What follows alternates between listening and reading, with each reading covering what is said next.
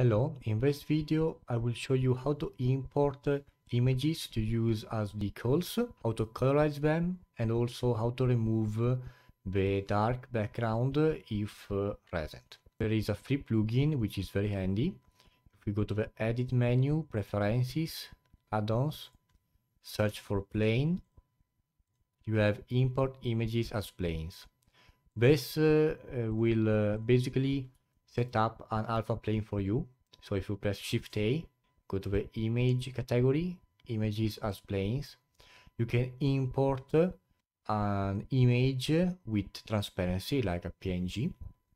Leave the setting to the default and import images as planes. Let me move this. I'm using cycles right now, so I will enable it and here we have our decal.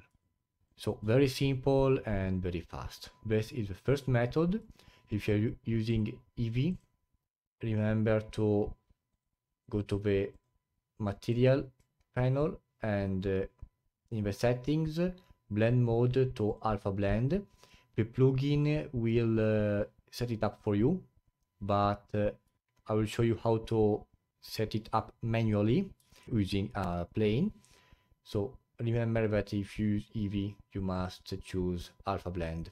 Before going further, let's take a look at the setup of this plugin. As you can see, it's very simple. It's just the image connected to the base color of the principle and the alpha to the alpha of the principle.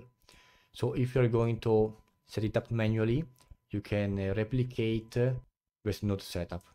So this uh, is a workflow if uh, you have an image with uh, without the background. But what if uh, you have an image with a dark background? Well, you can uh, remove it. I'll show you using this plane here. I'm using Eevee again.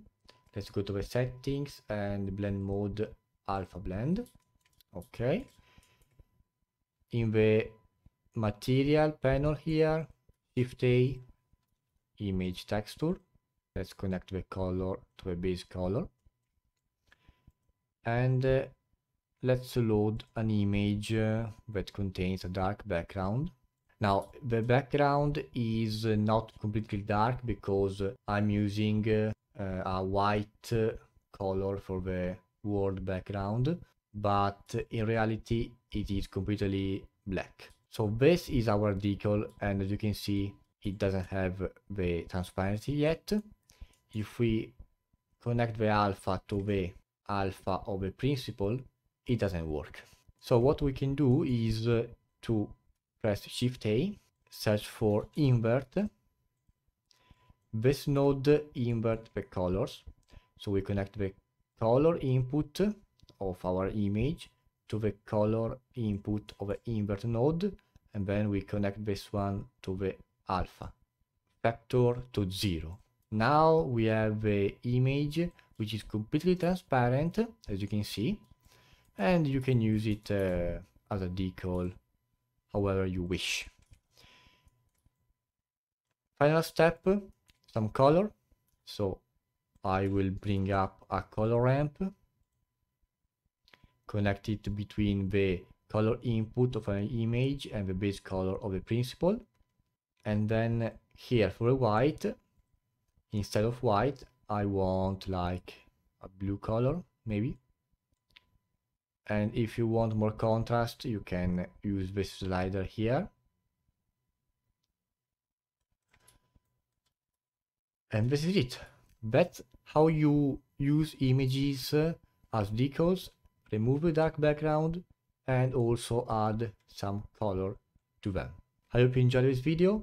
If that's the case, leave a like to support the channel, subscribe to stay up to date with the latest contents. If you have any question, comment below, and I'll see you in the next one.